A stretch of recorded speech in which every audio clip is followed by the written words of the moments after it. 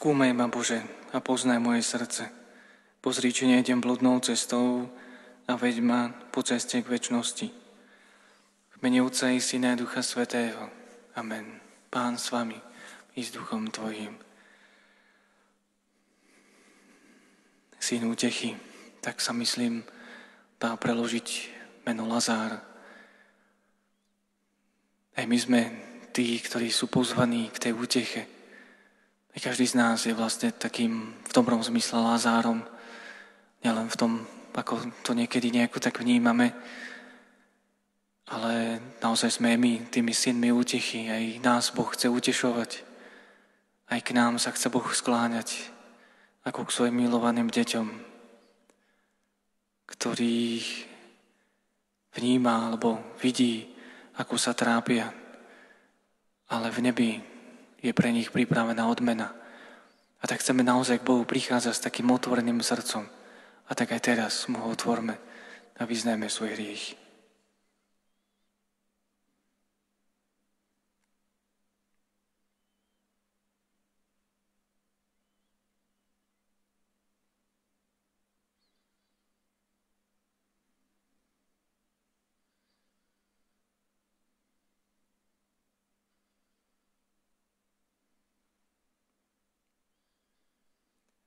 Smiluj sa nad nami, Pane, lebo sme sa prehrešili proti Tebe. Ukáž nám, Pane, svoje milosedenstvo a daj nám svoju spásu. Nech sa smiluje nad nami všemohúci Boh, kde nám riechy odpustí a nech nás privedie do života večného. Amen. Pane, smiluj sa, Pane, smiluj sa. Kriste, smiluj sa, Kriste, smiluj sa.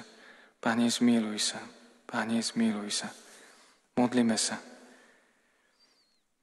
Milosrdný Bože, Ty miluješ nevinnosť a navraciaš žukajúcim hriešnikom.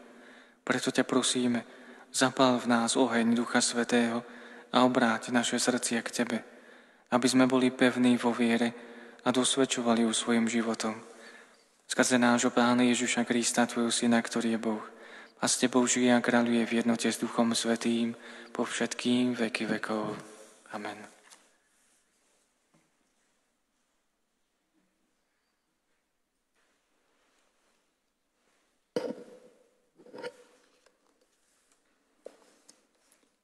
Čítanie z knihy proroka Jeremiáša. Toto hovorí pán.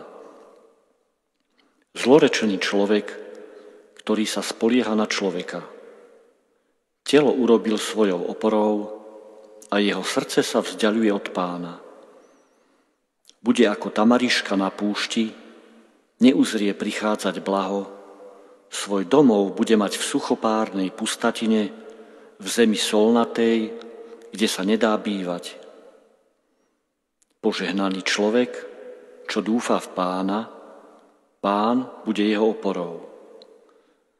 Bude ako strom zasadený pri vode, ktorý k potoku vystiera konáre, korene.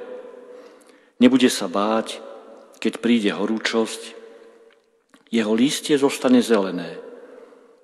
Ani v suchom roku nebude mať starosti a neprestane rodiť ovocie. Zo všetkého najklamnejšie je srdce a ťažko ho vyliečiť. Kto sa v ňom vyzná?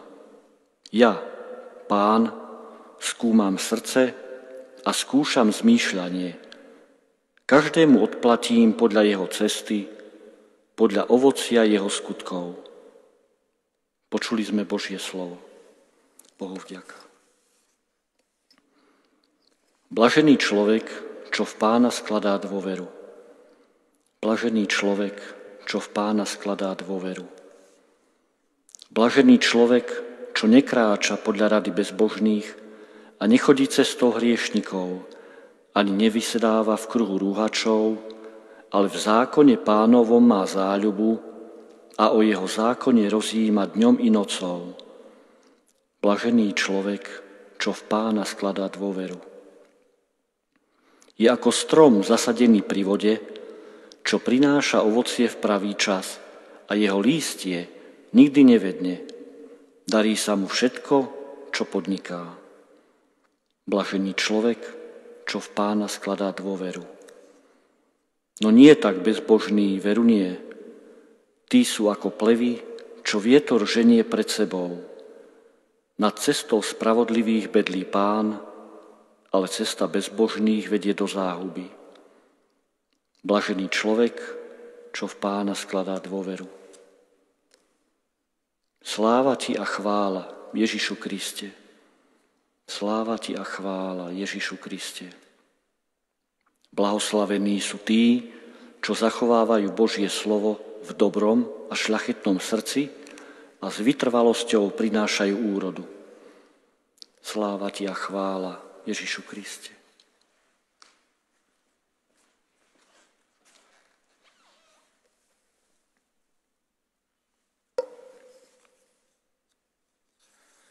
Pán s vami je s duchom Tvojim. Čítanie zo Svetého Evanielia podľa Lukáša. Sláva Tebe, Pane.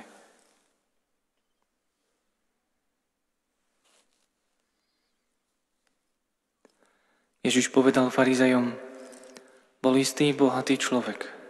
Obliekal sa do purpuru a kmentu a deň čo deň prepichovo hodoval. Pri jeho bráne líhal akýsi žobrák menom Lazár, plný vredov. Túžil nasítiť sa z toho, čo padalo z bohačovo stola, ale len psi prichádzali a lízali mu vredy. Keď žobrák umrel, anieli ho zaniesli do Abrámovho lona. Zomrel aj boháč a pochovali ho.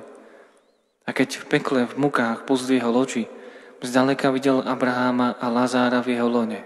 I zvolal, Otec Abrahám, zľutuj sa nado mnou a pošli Lazára, nech si namočí aspoň koniec prsta vo vode a zvlaží mi jazyk, lebo sa hrozne trápim v tomto plameni.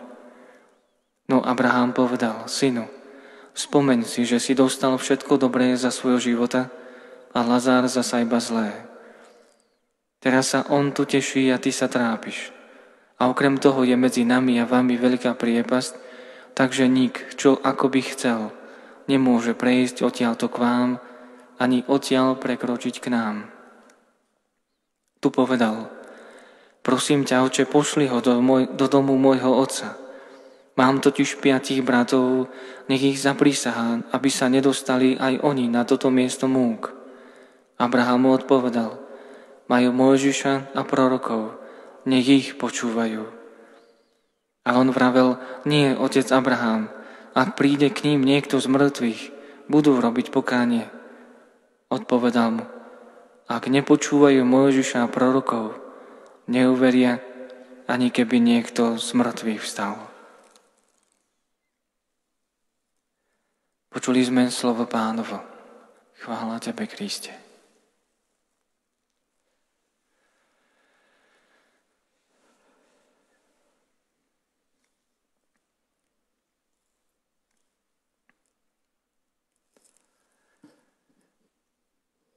Istý bohatý človek.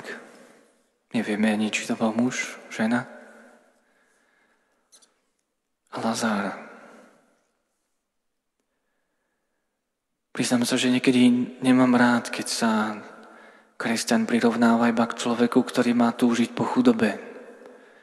Že má byť chudobný celkovo, že to má byť taký nejaký biedačik a že bohatí ľudia sú automaticky zlými ľuďmi.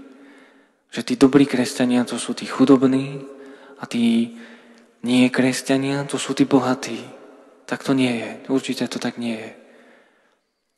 Pretože aj v živote, keď si všimneme mnohých svetých, napríklad už len taký František z Asisi nepochádzal z chudobnej rodiny, ale zriekol sa všetkého. Nestal sa chudobný, ale zriekol sa všetkého. Ale pochádzal z bohatej rodiny, užíval si. Alebo mnoho iných by sme naozaj mohli nieko hovoriť o nich a mnohí z týchto ľudí svetých boli naozaj bohatí. Aj v bohatstve je isté požehnanie predsa. Nemôžeme vnímať, že bohatstvo to je len akási vec sveta. Ale iste nechcem o tom hovoriť, ale jednoducho niekedy viem, že ako by sme to tak nejako spájali, že teraz máme byť taký chudobný ako Lazár a nemám byť taký bohatý ako ten istý bohatý človek. Či už to bol muž, či už to bola žena. Ježiš ho necharakterizuje, hoci tomu chudobnému dáva meno Lazár, syn útechy. Myslím, že sa volá syn útechy. A keď sa, keď sa tak pozrieme vlastne na týchto dvoch ľudí, bohatý človek mal všetko. Ono to znova nemusí byť len človek, ktorý je bohatý v tom fyzickom zmysle, že má veľký majetok. Bohatý človek môže byť aj človek, ktorý povie, že, že on všetko, všetko má, alebo že nič nerobí zle, nič mu nechýba. Možno aj keby sme ho tak nieko charakterizovali, tak by sme povedali, že je to taký kresťan, ktorý si povie, že veď dodržiavam desatoro, Ehm, žijem tak ako naozaj kresťan, nechodím tam, nerobím to a všelijaké veci by sme mohli povedať, že však veď asi nie je nikto dokonalejší, ako je práve ten človek. A ten by sa dal naozaj prirovnať k tomu, že je to istým bohatým človekom. Človekom, ktorý naozaj má všetko, nepotrebuje nič, dokonca ani Boha, lebo všetko má. Nepotrebuje prichádzať k Bohu, lebo mu niečo chýba, on vlastne všetko má. On sa netrápi nad riechmi, lebo ich nemá. On nepotrebuje modlitbu, pretože nič mu nechýba. Na čo by sa modlil, keď mu nič nechýba? A Lazár je zase ten, ktorého Evangelium opisuje, že pri bráne líhal akýsi žobrák, plný vredov, túžil nasítiť sa z toho, čo padalo z bohačovo stola a len psi prichádzali a lízali mu vredy. Čo všetko môžeme vidieť v tejto charakteristike? Lazár líhal pri bráne. Hoci najprv Evangelium hovorí, aký si žobrák, ako keby tak nejako kývnutie rukou nad ním. A to aký si, aký si človek tu chodí a líha si pri mojej bráne. Ja to tak nieko vnímam, že toto líhanie si pri bráne je tak trochu prirovnávané e, k tomu, že Ježiš sa často napríklad tiež zdržiaval pri bránach mesta. Keď ho zavolala Mária s Martou, že ich brat, tiež Lazár sa volal, že ich brat je chorý, aj keď sa to dozvedel, nešiel, ale potom aj keď tam už prišiel, tak máme napísané v Evaníliu, že, že stál pri bráne mesta. A pri bráne povolal apoštola Matúša. Pri bráne sa mohol stretávať s mnohými ľuďmi, lebo tam sa práve zhromažďovali, pretože vchádzali do mesta. A tento človek vlastne stál pri bráne. Je to akoby človek, ktorý čaká na to, že môže vstúpiť do niečoho lepšieho. Môže to byť človek, ktorý akoby túžil potom mať sa lepšie. Keby sme to tak nejako preniesli do toho duchovného života, možno by to mohol byť človek, ktorý túži po takom svetejšom živote. Po takom živote, kde sa nemusí tak trápiť. Ako sa nemusí trápiť napríklad ten boháč. A to plný vredov môžeme preniesť znova plný hriechov. Možno to bol človek, ktorý na ten pohľad nemusel byť možno taký nejaký, ale ako keby to evanílium chcelo naozaj tak nejako opísať tohto človeka ako hriešného, ako naozaj takého chorého, takého, že až fyzicky bolo vidieť, že bol taký nepríjemný, nesympatický, že keď sa niekto na neho pozrel, tak jednoducho bol to človek, na ktorého sa až tak veľmi dobre nepozerá. Je to naozaj ako keď vidíme človeka, ktorý žije tak nejako, neviem, bezdomovecký alebo, alebo v takom nejakom spôsobe života, alebo možno každý deň v alkohole, jednoducho na jeho tvári to vidíme. Je to, je to človek, ktorý, z ktorého tváre sa dá vyčítať, že nie je to celkom človek, ktorý žije v nejakom blahobite, v nejakom šťastí. Je to človek, ktorý sa každý deň umýva, a tak nejako aspoň v dobrom sa nieko stará o seba. A presne taký bol Lazár, plný vredov. Jednoducho človekom plný hriechov. Bol to človek, ktorý bol plný rôznych bojov, zápasov, pretože túžil sa nasítiť z toho, čo padalo z bohačovo stola, ako keby túžil po tom milosrdenstve, ktoré padá zo stola. Že hocikomu možno odpustil, hocikom, s hocikým sa nejako podelil, s hocikým urobil nejaký obchod, kde obidvaja boli barancíty, aj teda baranceli aj vlksíty. A on tak nejako mohol túžiť po tom, po tom milosadenstve, tak ako naozaj znova, keď to tak preniesieme do toho nášho duchovného života, možno aj my túžime byť tými, ktorí túžia po tom odpustení, po tom milosadenstve, po tom, po tom zľutovaní, že akoby každý deň, keď tak nieko ráno vstávame, tak máme alebo môžeme mať pred očami, že tento deň môže byť pre nás náročný, ťažký a, a nejako zlyhávajúci, že hneď od rána sa nám možno tak celkom nedarí, že hneď od rána sme takí nejakí zápasiaci, že už hneď ako sa ráno zobudím, tak veľmi sa túžim modliť. Pane, nejde mi to.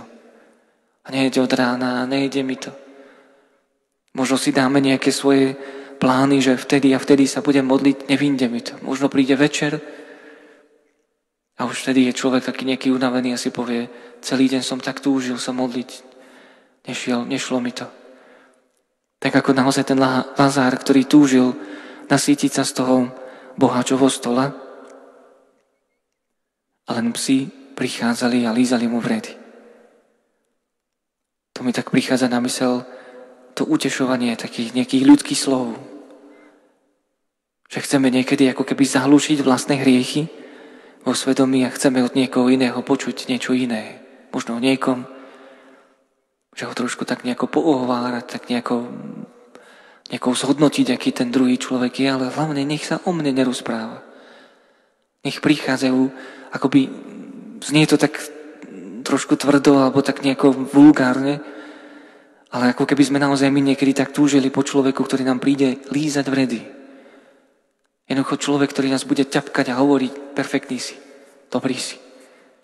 Veď čo tam budeš sa nieko zamýšľať nad svojimi riechmi? Žij svoj život, užívaj. A kde sa dostal boháč, ktorý bol bezstarostný? A kde sa dostal Lazár, ktorý každý deň zápasil o prežitie? Každý z nás je pozvaný k tomu, aby sme aj my naozaj boli tými, ktorí prichádzajú v prvom, v prvom rade za Bohom. Boh môže byť ten bohatý. A Boh je ten bohatý, ktorý, ku ktorému sa nebudeme báť ísť. Ku ktorému budeme prichádzať, lebo vieme, že ho potrebujeme. Potrebujeme to, čo padá z jeho stola. Mohli by sme to až tak prirovnať, že z toho eucharistického stola, z toho obetného stola, stola modlitby, stola Eucharistie, stola milostí, ktoré nám dáva. Že túžime po, po tomto stole. Túžime po tom, čo nám Boh naozaj chce dávať z tohto stola. A ležíme pri jeho bránach. Pri bránach jeho chrámu, pri bránach jeho srdca, pri bránach jeho odpustenie, zľutovanie. Naozaj každý z nás sa nebojme prichádzať k Bohu, pretože každý z nás potrebujeme to isté zľutovanie, ktoré potreboval za života aj Lazár. A dostal sa do neba nie preto, že bol chudobný a nemal nič a že bol taký, ako opisuje Evangelium, ale preto, že nasledoval Boha, alebo chcel nasledovať Boha. Aj keď nám naozaj to evanelium až tak nieko neopisuje ten život Lazárov, ale chce nám ukázať vlastne ten prepich boháčov. A ešte tak nakoniec prichádza taký maličký príbeh, ako pred nebeskou bránou už stálo niekoľko ľudí a videl taký Františkán už tiež tam vlastne stál pred tou bránou a videl nejakého bohatého človeka, ktorý vchádza do neba, taký bol prekvapený, že ho Peter pustil. Taký naozaj až mu tak prišiel povedať, Peter, ako je možné, že tento bohatý človek sa tak rýchlo dostal do neba? Ani nemusí čakať ako ja. A vtedy mu svätý Peter hovorí, že ale tento človek miloval Boha celým srdcom, hoci mal všetko, čo mal, čo potreboval ale miloval Boha, nezabudol na Neho. Ale ty, hoci si sa všetkého zriekol, jednu vec si si nechal. Miloval si kocúra viac ako Boha. Kocúr bol tvoj svet. Kocúr bol, bol tvoje bohatstvo. On bol tvoje bohatstvo. Boh bol až za kocúrovi, za kocúrom. A preto sa tento Františka na nedostal do neba. Taká zvláštna vec. Boh od nás nechce veľa, ale chce všetko. A tak to môžeme naozaj my znova vnímať aj v tom svojom živote. Prichádzame k nemu, lebo každý z nás ho potrebuje. Prichádzajme k nemu, keď z toho jeho stola padá všetko to, čo potrebujeme, to, čo hľadáme, to, po čom túžime. A tam to nájdeme. Tam to je. Pane Ježišu, a my sa niekedy cítime ako ten boháč, ktorý sa cíti, že nič nepotrebuje, všetko má taký krásny život vedie, nikto nie je dokonalejší ako je on. Ani nepotrebuje sa vyznávať zo svojich hriechov, veď v podstate ich ani nemá. No na čo by chodil ku tebe, keď v podstate on je spokojný. Všetko dodržiava, všetko robí, ako má. Alebo sa niekedy môžeme cítiť ako, ako ten chudobný Lazár, ktorý je vlastne tak chudobný, že, že Skôr psi sa o neho starajú ako, ako človek. Pane, túžime prichádzať k Tebe taký, aký sme. Ja viem, že chudoba nie je jediným znakom, ako ťa nasledovať. Lebo veci môžeme mať. Ale nesmieme veciam patriť. Veci potrebujú patriť nám, nie my im. My chceme patriť Tebe. Pane, urob aj naše srdce, aby celé, úplne celé, patrilo jedine Tebe. Amen.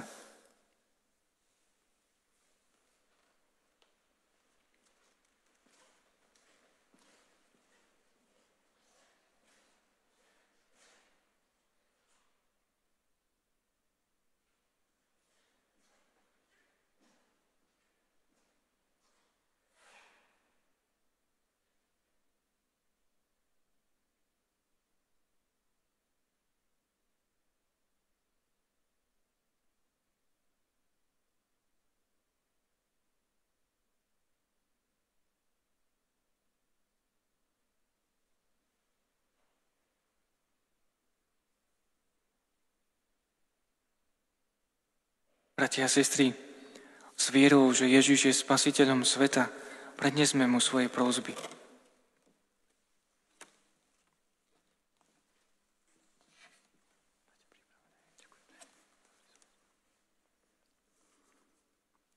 Modlíme sa za církev, aby verne hlásala evanílium všetkým národom sveta. Prosíme ťa, vyslíš nás. Modlíme sa za spovedníkov, aby trpezlivo vysluhovali sviato zmierenia a stávali sa dokonalými nástrojmi Božej lásky. Prosíme ťa, vyslíš nás. Modlíme sa za ľudí, oplývajúcimi materiál, oplývajúcich materiálnymi dobrami, aby sa neodvracali od tých, ktorí trpia núdzu. Prosíme ťa, vyslíš nás. Modlíme sa za zločincov, aby mali ducha pokánia, a vedeli zadozučiniť za zlo a neprávosť, ktoré spáchali. Prosíme ťa, vyslíš nás.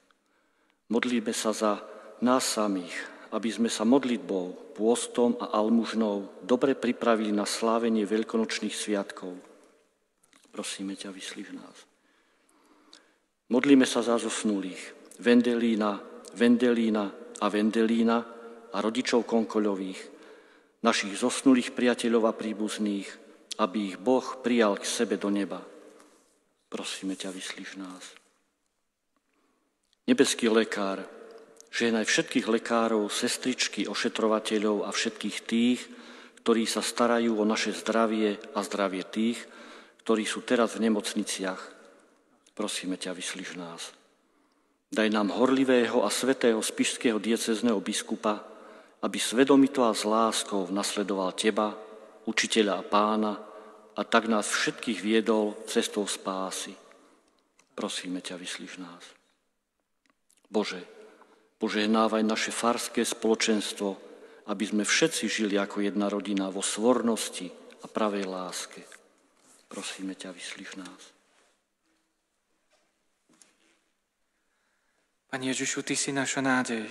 Prosíme ťa, príjmi našu vrúcnú modlitbu a pomôž nám dôstojne oslavovať Tvoju smrť a zmrtvý vstanie. Ty žiješ a kráľuješ na veky vekov. Amen.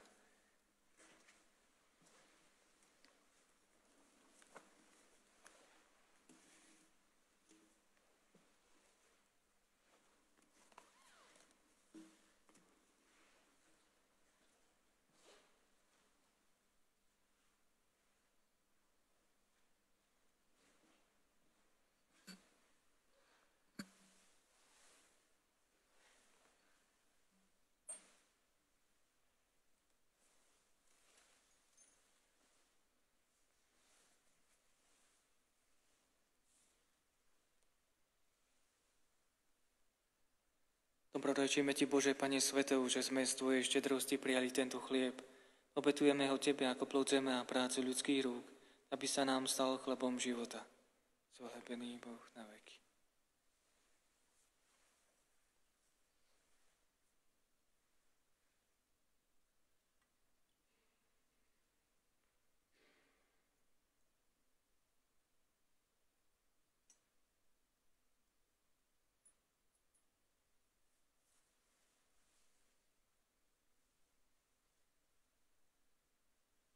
Dobrorečíme Ti, Bože, Pane Svetov, že sme z Tvojej štedrosti prijali toto víno. Obetujeme ho Tebe ako plod viniča a práce ľudských rúk, aby sa nám stalo duchovným nápojom. Zvalabený Boh na veky.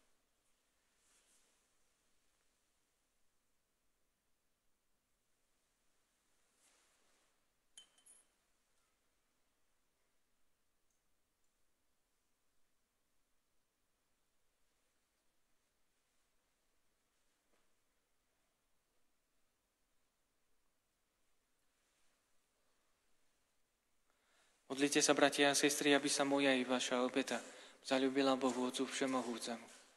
Nech Pán príjme obetu z Tvojich rúk na chválu a slávu svojho mena, na užitok nám i celej Svetej Církvi.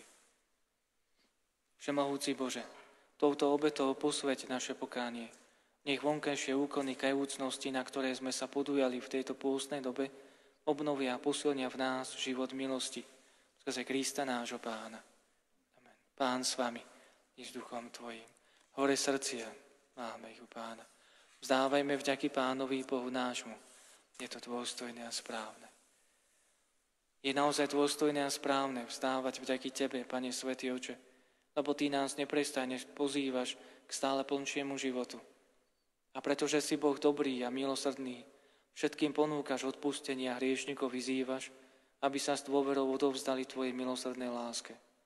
Neodvrátil si sa od ľudí, keď veľa ráz porušili Tvoju zmluvu. Ale skrze Ježiša Krista, Tvojho Syna a nášho Pána, spojil si so sebou veľkú rodinu ľudstva novým putom, ktoré nejaká moc nemôže rozlomiť.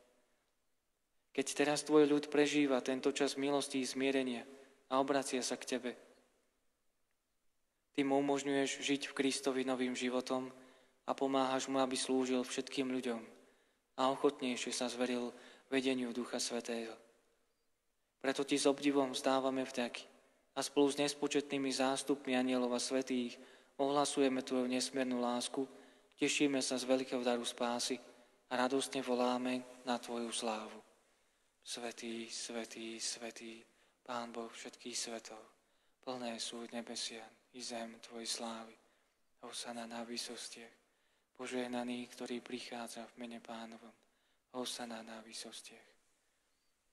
Naozaj si svetý oče a od začiatku sveta sa o človeka staráš, aby sa stal svetým, ako ty si svetý. Zliadni prosíme na svoj ľud, zhromaždený pri tvojom oltári a zošli moc svojho ducha, aby sa nám tieto dary stali telom a krvou tvojho milovaného syna Ježiša Krista, v ktorom sme aj my, tvojimi deťmi. Keď sme boli ako mŕtvi a nevládali sme prísť k Tebe, dal si nám vrcholný dôkaz svojej lásky tým, že Tvoj syn, ktorý jediný je spravodlivý, odovzdal sa do našich rúk a nechal sa pribiť na drevo kríža. Pravnež rozopel svoje ruky na znak väčšnej zmluvy medzi nebom a zemou, chcel so svojimi učeníkmi sláviť Veľkú noc. Pri večeri vzal chlieb, vzdával ti vďaky a dobrorečil, lámal ho a dával svojim učeníkom hovoriac. Vezmite a jedzte z neho všetci. Toto je moje telo, ktoré sa obetuje za vás.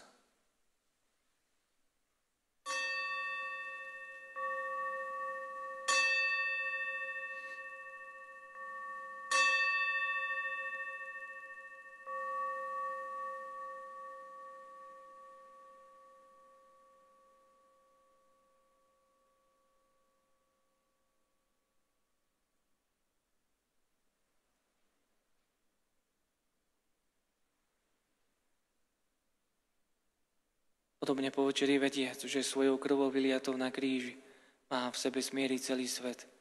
Vzal kalich s vínom, znova vstával vďaky a dal ho svojim učeníkom hovoriac.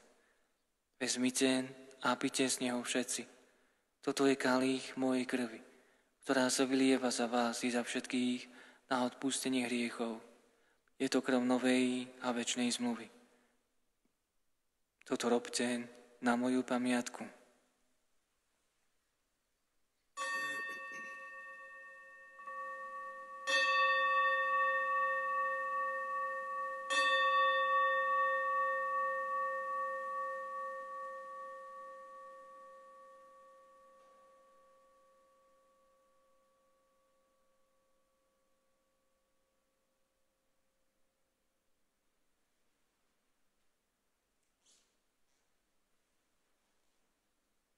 Hľa tajomstvo viery. Smrť Tvoju, Pane, zvestujeme a Tvoje smrtvý vstanie vyznávame, kým neprídeš v sláve. Keď teda slávime pamiatku smrti a smrtvý stanie Ježiša Krista, ktorý je náš veľkonočný baránok a náš bezpečný pokoj, akým očakávame deň Jeho príchodu v sláve, prinášame Tebe, Bohu vernému a pravému, túto obetu, ktorá zmieruje ľudstvo s Tebou. Dobrotivý oče, láskavo zliadni na tých, ktorým dávaš účasť na tejto jedinej Kristovej obete a tak ich spája so sebou. Daj, aby sa pôsobením Ducha Svetého stali jedným telom, v ktorom nie je rozdelenia ani nesvornosti. Zachovaj nás vo vzájomnej jednote ducha a srdca s našim pápežom Františkom a s našimi biskupmi. Pomáhaj nám pripravovať príchod Tvojho kráľovstva až do dňa, keď prídeme k Tebe a budeme väčšine žiť v Tvojej prítomnosti svetý medzi svetými, v spoločenstve s Panom Máriou a Apoštolmi i s našimi zosnulými bratmi a sestrami, ktorých odporúčame do Tvojej milosrdnej lásky. Vtedy budeme novými stvoreniami, konečne oslobodenými od skazy hriechu a budeme s Kristom väčšine živým spievať chválu spev vďaky.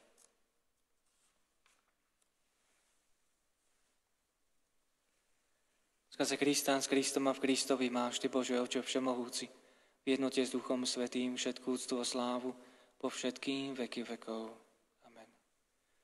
Prijali sme Ducha Svetého, v ktorom sme sa stali Božími deťmi, preto sa usmeľujeme povedať. Oče náš, ktorý si na nebesiach, posved sa meno Tvoje, príď kráľovstvo Tvoje, buď vôľa Tvoja, ako v nebi, tak i na zemi. Chlieb náš každodenný daj nám dnes a odpust nám naše viny, ako je my odpúšťame svojim viníkom a neuvede nás do pokušenia, ale spáv nás zlého. Prosíme ťa, Oče, spáv nás všetkého zla. Udeli svoj pokoj našim dňom a príď nám milosrdne na pomoc, aby sme boli vždy uchránení pred riechom a pred každým nepokojom, kým očakávame splnenie blažené nádeje a príchod nášho Spasiteľa Ježiša Krista. Lebo Tvoje je kráľovstvo a moc i sláva na veky. Pane Ježišu Kriste, Ty si povedal svojim apoštolom, pokoj vám zanechávam, svoj pokoj vám dávam. Nehľaď na naše hriechy, ale na vieru svojej církvy. A podľa svojej vôle milostivo daruj pokoj a jednotu, lebo Ty žiješ a kráľuješ na veky vekov. Pokoj pánov nech je vždy s vami duchom Tvojim. Dajte si znak. Pokoja, bratská láska, nech je medzi nami.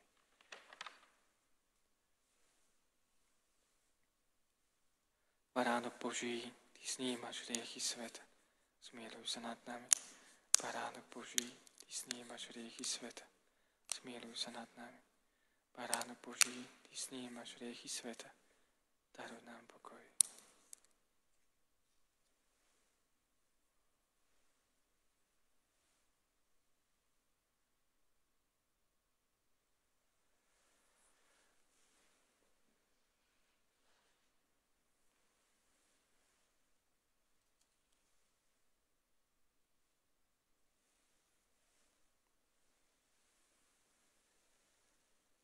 Hľa bránok Boží, ktorý sníma hriechy sveta. Blažení tí, čo sú pozvaní na hostinu baránkovu. Pane, nie som hoden, aby si vošiel pod moju strechu, ale povedz iba slovo a duša mi ozdravie.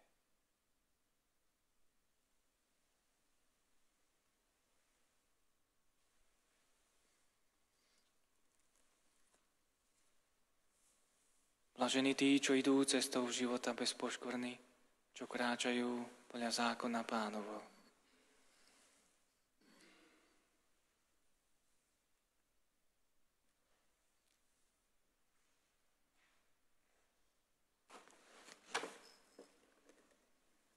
Modlitba duchovného svetého príjmania. Moje Ježišu, verím, že si v najsvetejšej oltárnej sviatosti skutočne prítomný. Klaniam sa Ti a milujem ťa nadovšetko. Z lásky k Tebe ľutujem všetky svoje hriechy. Sľubujem a budem vyhýbať každej hriešnej príležitosti. Moja duša túži po Tebe, ale keďže ťa teraz sviatosti nemôžem prijať, príď aspoň duchovne so svojou milosťou do môjho srdca. Daj, aby som vždy žil v Tvojej milosti a tak plnil Tvoju vôľu. Ty žiješ a kráľuješ na veky vekov. Amen.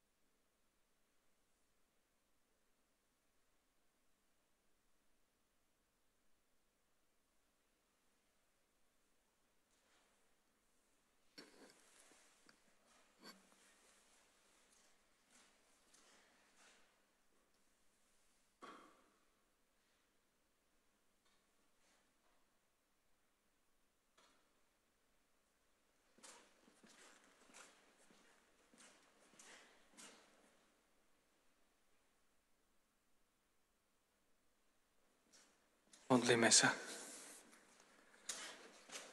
Dobrotivý Bože, nech v nás neprestane pôsobí eucharistická obeta, ktorú sme slávili a nech nás upevňuje vo vzájomnej láske.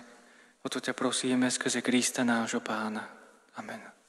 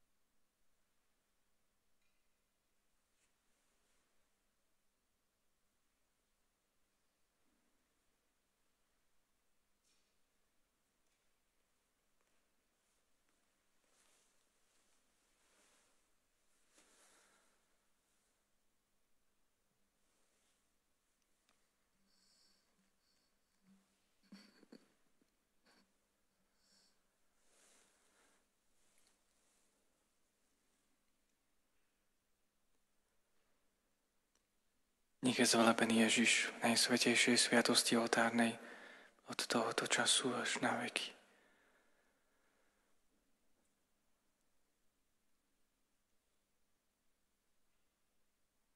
Pane Ježišu,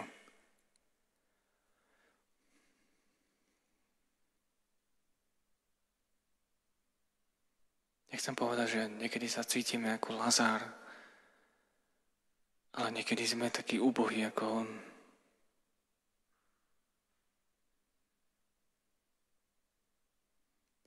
Tak veľmi ťa potrebujeme.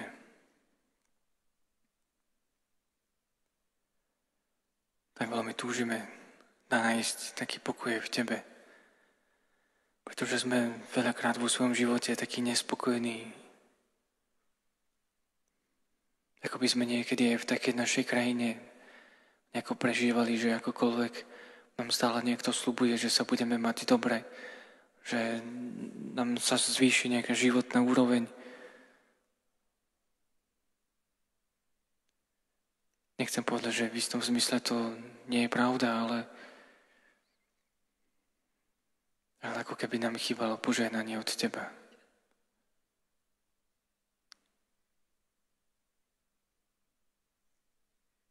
Ako by sme my naozaj niekedy boli takými, že sa nechávame kým si tak niek stále akoby utešovať, ale ľudí chceme mať nejaké istoty, tak veľmi vieme uveriť tomu, že, že nám niekto z ľudí ponúkne istoty.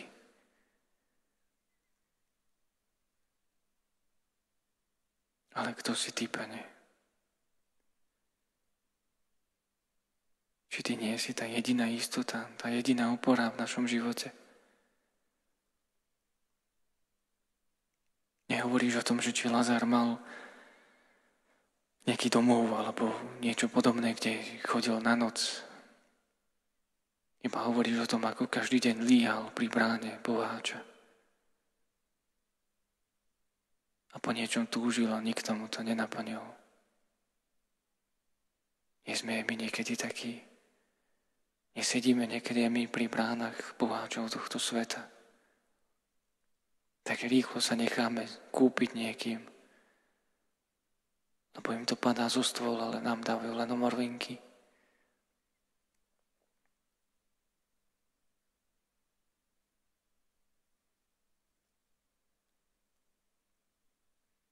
A pritom tak, ako by ťažko bolo pre nás prichádzať k Tebe.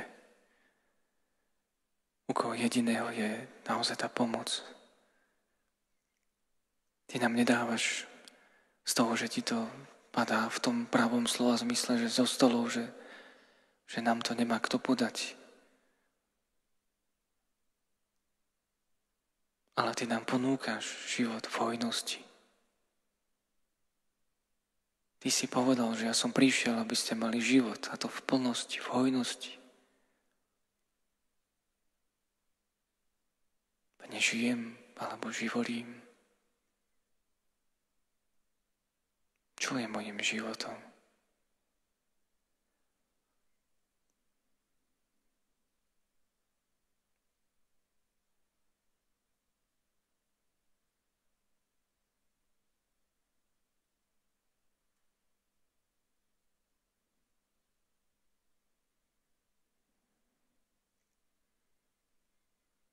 Buď môjim jediným pánom.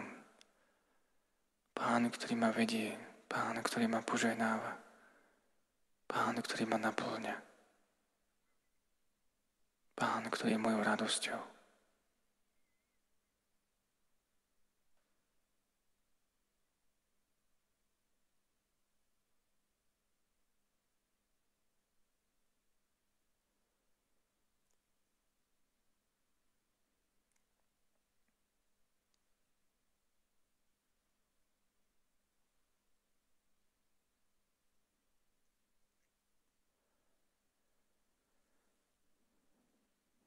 Sláva Otcu i Synu i Duchu Svetému, ako bolo na počiatku, tak nech je teraz i vždycky, i na veky vekov. Amen.